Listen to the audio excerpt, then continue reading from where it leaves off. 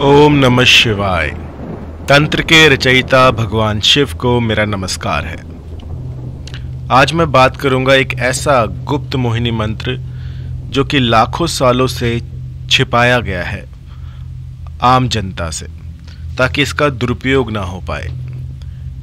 लेकिन ये मंत्र मैं आज आपके साथ साझा करूँगा। इस उम्मीद में कि इसका दुरुपयोग आप नहीं करेंगे और अपने साथी को अपनी ओर आकर्षित करने के लिए इसका प्रयोग आप सोच समझ कर करेंगे। तो इस मंत्र का प्रयोग तब करना चाहिए जब सारे मंत्र विफल हो जाएँ, कुछ भी ना लग रहा हो। उस समय आप अपने इष्ट देव का ध्यान करते हुए इस मंत्र का जो है प्रयोग करें तो आपको शत प्रतिशत इसका असर दिखेगा। ये एक विधि है जो कि शायद से पहले ही मैंने आपको बताई होगी, लेकिन आज मैं इसको पूरी तरह से बताऊँगा कि इसका प्रयोग कैसे किया जाए। तो सबसे पहले तो आपको चाँद की दशा देखनी होगी कि चाँद जो है, वो ढल रहा है या बढ़ रहा है। अगर वो रोशनी की तरफ़ बढ़ रहा है तो इस प्रयोग को किया जा सकता है। जैसे अभी कल पूर्णिमा थी तो अब जो चाँद है, वो अंधकार की तरफ़ जा रहा है। तो अंधकार में जब चाँद जाए तो इस प्रयोग को ना करें। जब प्रकाश की तरफ़ चाँद जाए, या पूर्णिमा होने वाली हो, या फिर एक हफ़्ते बाद हो, तब इस प्रयोग को करें।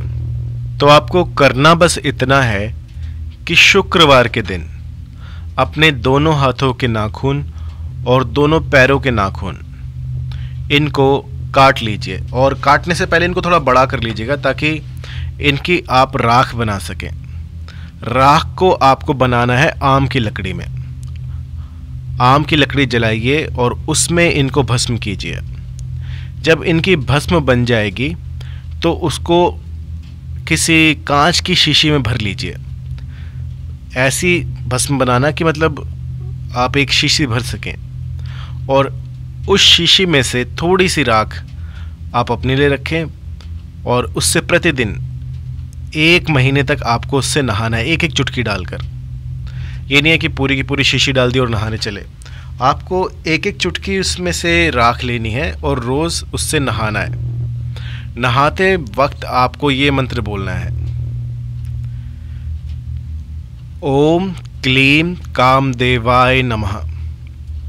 अपने ईष्ट देव का ध्यान कीजिए, अपने ग्राम देवता का ध्यान कीजिए, अपने कुल देवता का ध्यान करके उसके बाद आपको ये मंत्र बोलना है। ओम क्लीम काम देवाय नमः। इस तरह से जैसे जैसे आप पानी डालें अपने ऊपर, इस मंत्र का ध्यान करते हुए या फिर इसका जाप करते हुए आपको नहाना है।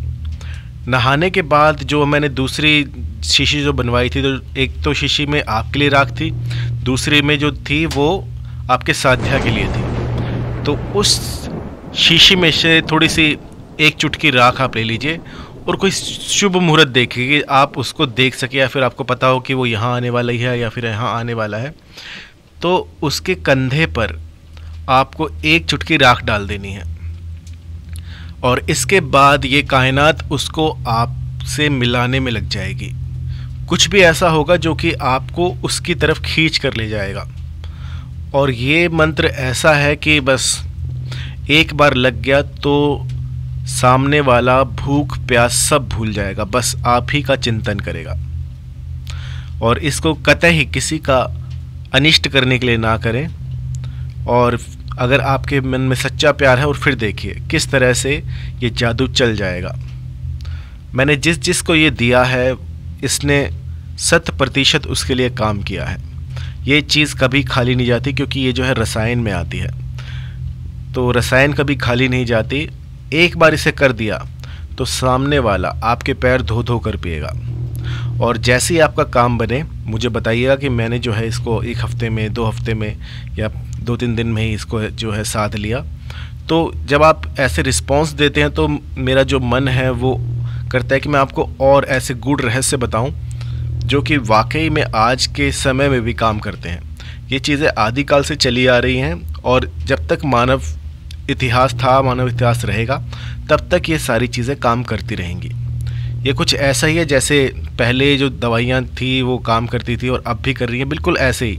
ये सारी चीज़ें अब भी वैसा ही काम करती जैसे पहले करती थी। बस बात है कि हम उस ज्ञान को भूल गए हैं, उस विद्या को हम अर्जित नहीं कर पाए हैं। और न जाने इससे भी बहुत बड़ी गूढ़ विद्याएँ हैं जो कि आज तक हमारे संपर्क में नहीं आ पाई हैं।